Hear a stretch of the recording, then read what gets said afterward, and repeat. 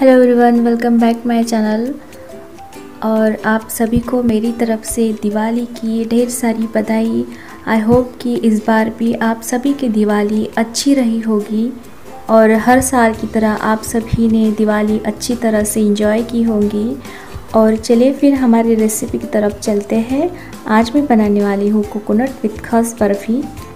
देखिए, मैंने तीन कप कोकोनट बुरादा लिया है। और हमारे बर्फ़ी को थोड़ा सा रिच टेक्सचर आने के लिए मैंने आधा कप मिल्क पाउडर लिया है और तीन चम्मच मैंने मलाई डाल दी है और दो चम्मच देसी घी और इसमें हमें डाल देना है डेढ़ कप शुगर और इसमें जो मैंने मलाई डाली है, जो घर में दूध होता है, उसके ऊपर जो मलाई आती है, वही मैंने इसमें डाल दी है।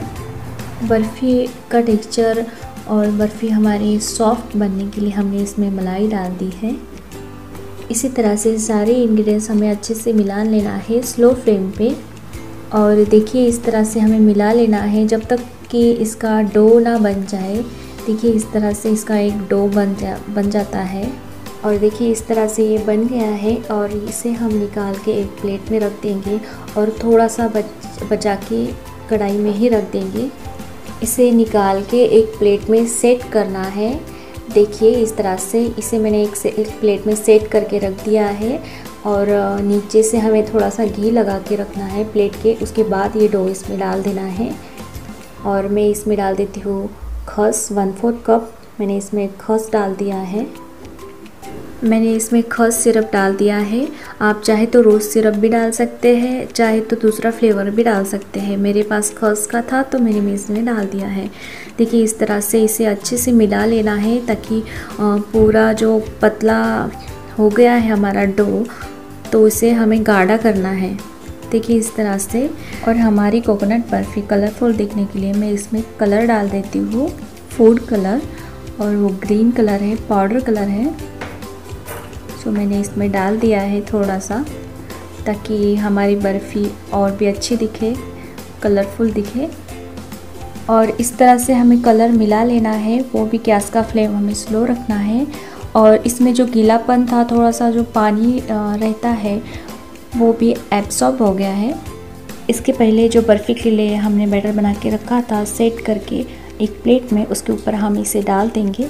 देखिए इस तरह से। और इसी तरह से अच्छे से सेट कर लेना है। उसके बाद हमें ठंडा होने के लिए इसे रख देना है, छोड़ देना है।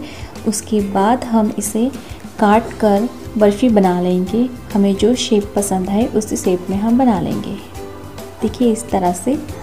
और ये देखिए, इसके ऊपर से मैंने बैटर को डाल दिया है और वो भी हम अच्छे से इसे सेट कर लेंगे ऊपर से, ताकि अच्छे से हमारी बर्फ़ी दिखे। अब देखिए इस तरह से ये ठंडा होने के बाद इसके छोटे छोटे पीसेस हमें काट के रख देने हैं। देखिए जिस तरह से मैंने काटे हैं, उसी तरह से आप भी आपके चॉइस से इसे शेप दे सकते हैं। देखिए इसी तरह से सिंपल और इजी रेसिपी है। है ना? इजी और आसान रेसिपी हम इसे इजीली घर पे बना सकते हैं। कोई भी त्यौहार में इसे हम शामिल कर सकते हैं। और वो भी आसानी से जो भी हम हमारे घर में इंग्रेडिएंट्स होते हैं, उसी में ये बर्फ़ी बन जाती है। अगर मेरी रेसिपी आपको अच्छी लगे तो प्लीज़ सब्सक्राइब करना मत भूलिए।